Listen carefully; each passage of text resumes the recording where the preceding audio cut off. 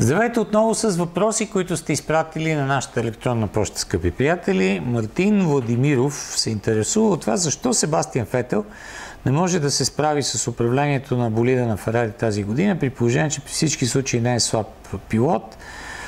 Отписал ли е настоящия сезон? И по какъв начин в крайна сметка можем да, да очакваме завършика на неговата кариера в екипа на, на Ферари и на следващите различни писти. Значи Себастиан Фетел по принцип не се чувства комфортно в Ферари в момента и това е всеизвестно на а, абсолютно всички. Не се чувства комфортно вътре в самата кола, не се чувства комфортно в а, работата си с отбора, който те или иначе обяви, че го освобождава още преди сезона да е започнал.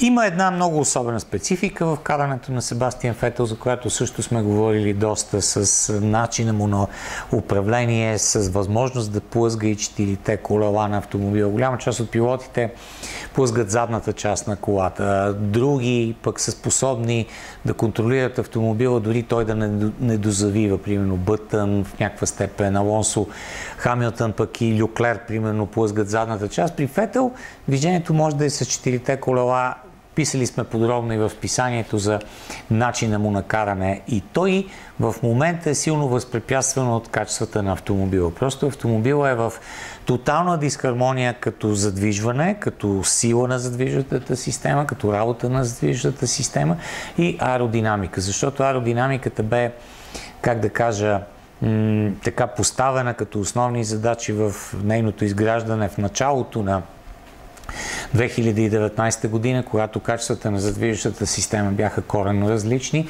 и в крайна сметка сега колата има повече притискане, има обаче по-голямо челно съпротивление. За да се намери някаква скорост на правите, трябва да се правят компромиси, които водят до допълнително намаляване на натиска, на контрол върху автомобила и всичко това води до, до една невъзможност за Фетел дори в хода на самите състезателни уикенди по някой път да подобри качествата на колата си. Аз виждам как той се бори в петък.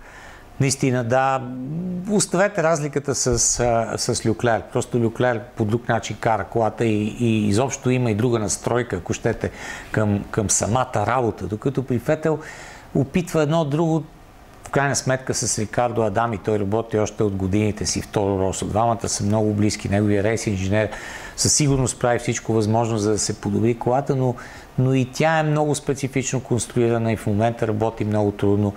И, и всичко това води до, до тези лоши резултати на, на Себастиан в момента. И вече прибавяме цялата психика, която, цялата психологическа а, така, обстановка, която има около Себастиан, когато един пилот не е, а, не е освободен, не се чувства щастлив, не се чувства победител, не се чувства обичан, особено Фетел, а, нещата наистина не се получават. Да видим в крайна сметка, не случайно хората от Racing Point, от Астън Мартин до година казват, ще видите той при нас като дойде в една друга среда, като усети колко ние добре ще го приемам, нещата ще се променят. Да видим дали ще се случи точно така. Благодаря за въпроса. Ще бъдем отново заедно съвсем скоро.